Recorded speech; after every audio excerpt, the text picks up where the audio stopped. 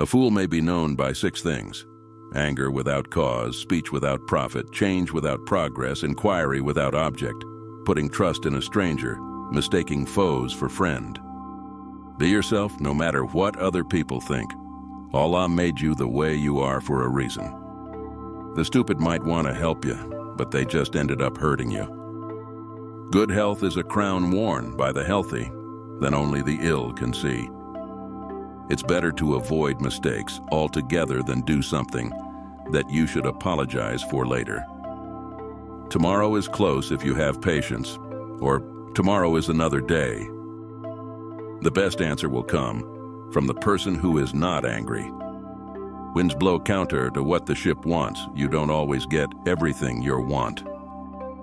It's better to fix what you have than wait to get what you don't have. People who live in glass houses should not throw stones. Avoid things that will require an apology. This means if you want to do something that you know you'll have to apologize for, you should probably just not do it. Do not eat your bread on somebody else's table.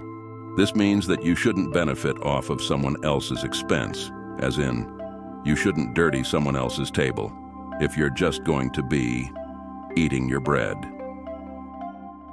Avoid the company of liars, but if you can't, don't believe them. This one is pretty straightforward, isn't it?